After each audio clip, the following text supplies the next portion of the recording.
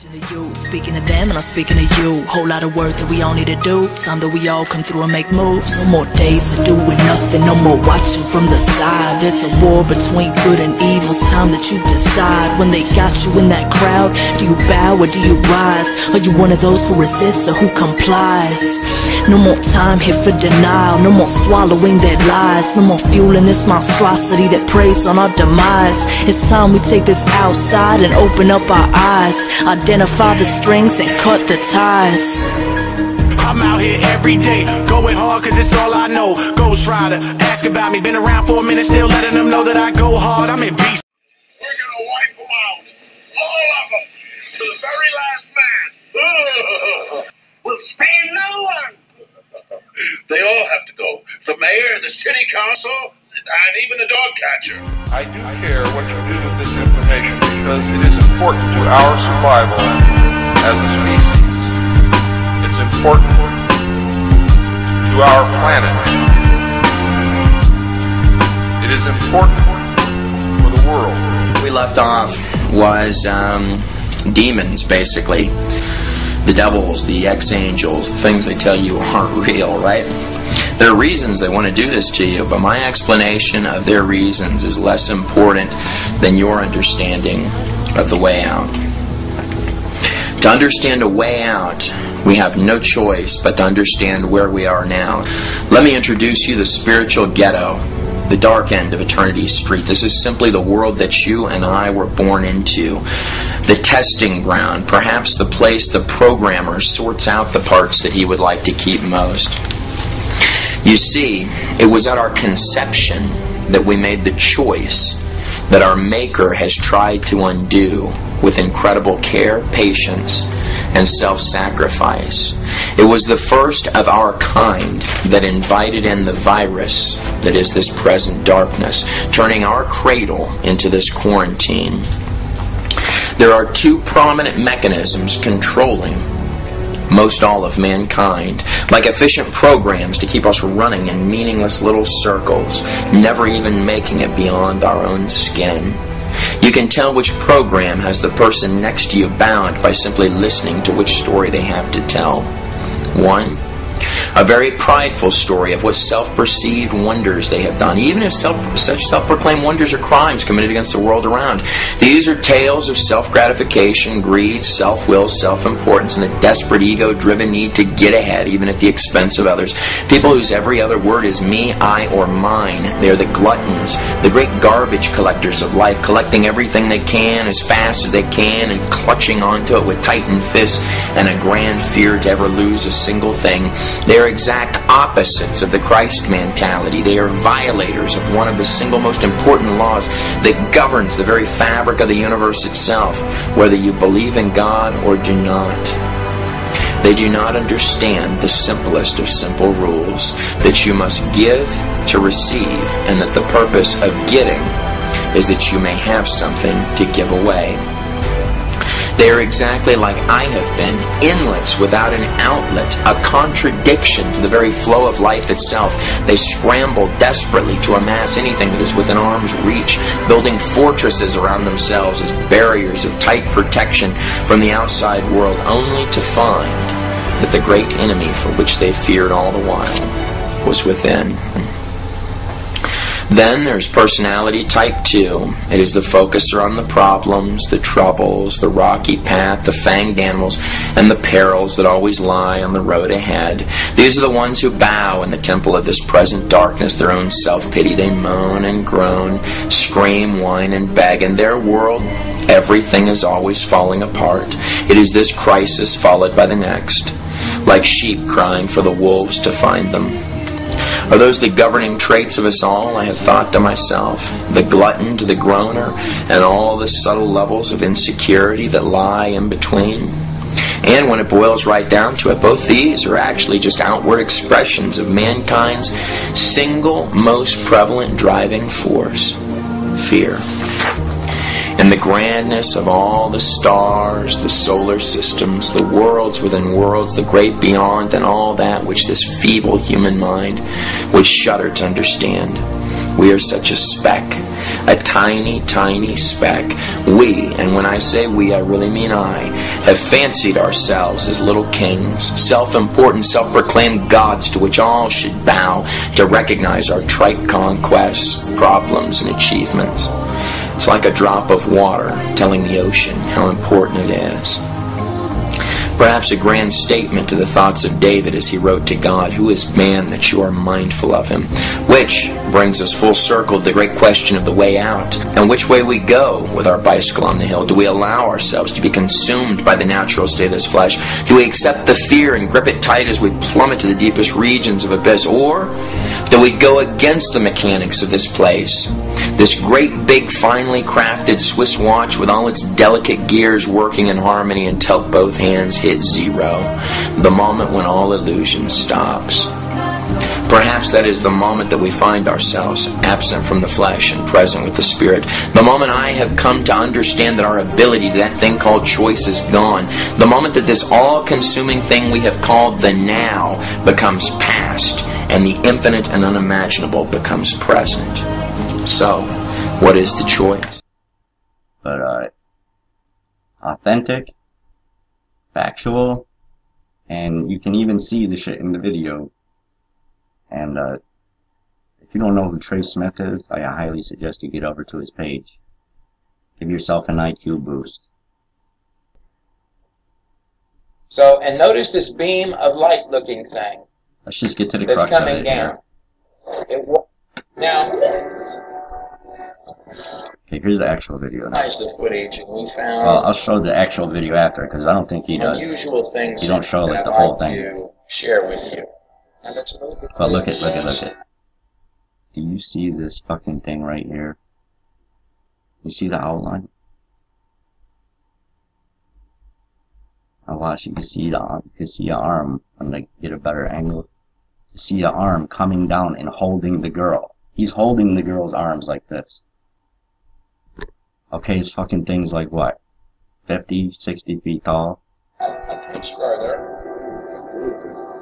Now this is a stabilization of the clip, so you can see the So girl arms. up there in the air, Looks like somebody's, floating like, around. You know, Now holding.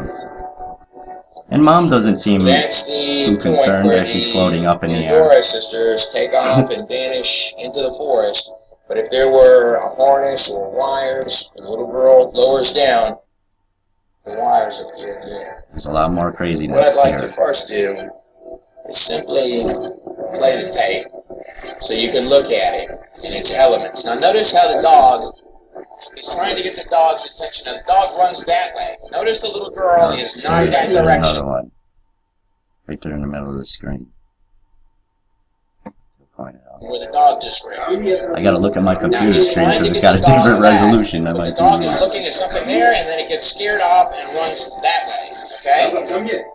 Yep, So you this saw is the that point where demon he and he was like, notices our little girl, and there she is. and then he went that way and saw another one and he was like, here's the mother, doesn't see the man with the camera yet. That's actually just part of the shrubbage because it moves independently, so the little girl can be moving around it, and plus you see that the little girl is actually in front of it. So how she would be connected to it without the jacket being connected to it, and also the way the jacket moves down here.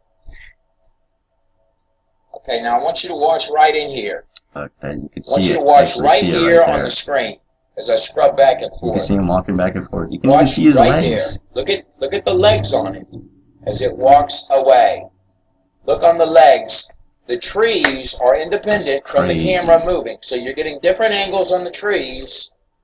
But this little thing here that just walked to the side that appears to have legs on it. Middle of the night, and like I told you, you've got to relook at what's in this clip. Millions of Russians have watched this thing, along with people from countries. Boom.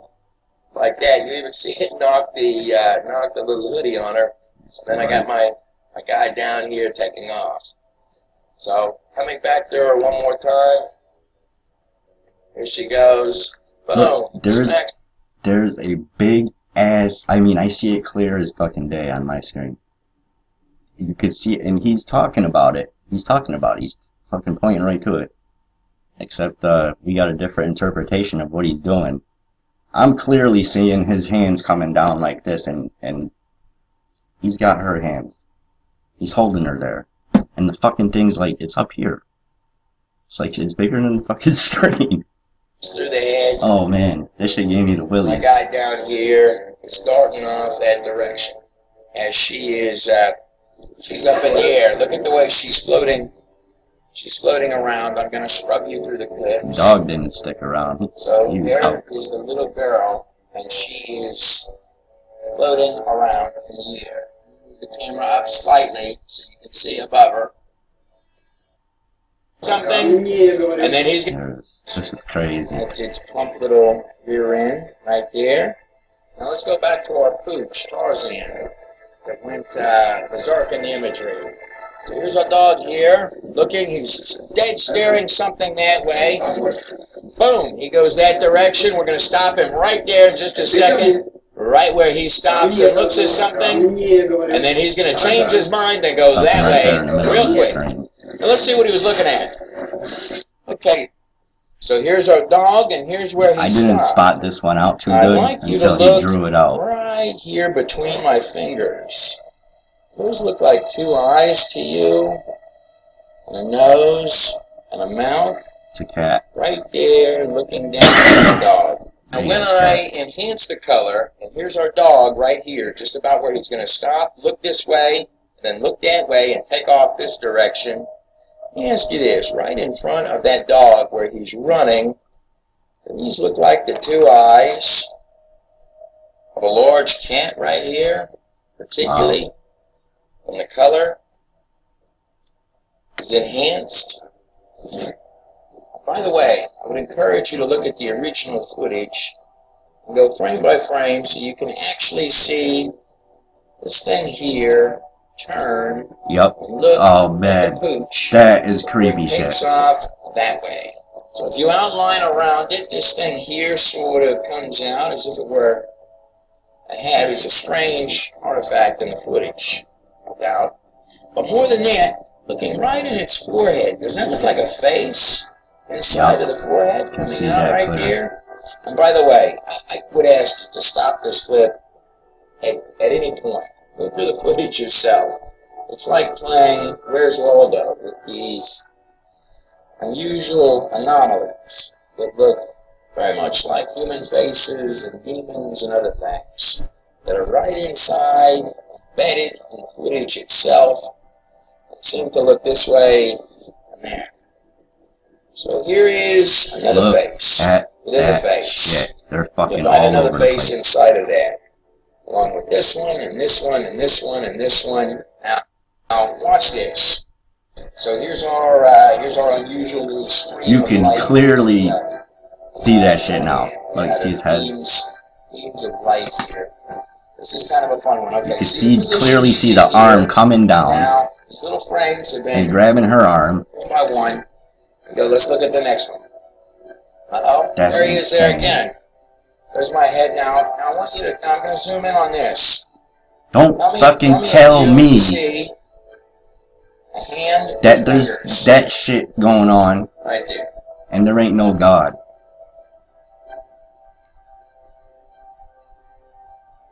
Everything you hear, you should take seriously.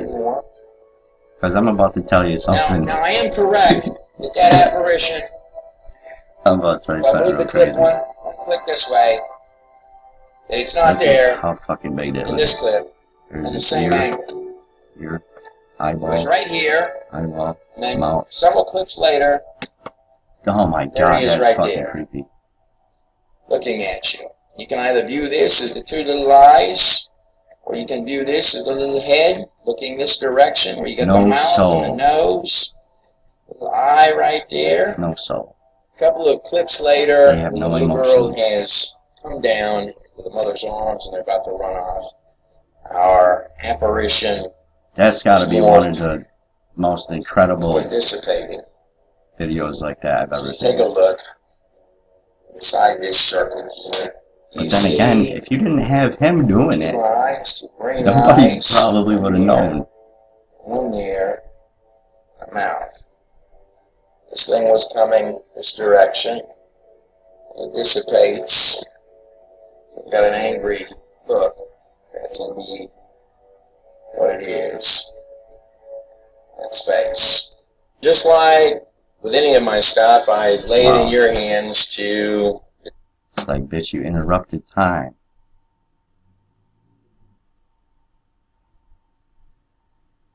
Folks, I'm telling you, if you want to have your mind completely blown, go to YouTube. Should I fucking do it for you right now? decide. T R E Y S M I T H. I would highly suggest. Mm,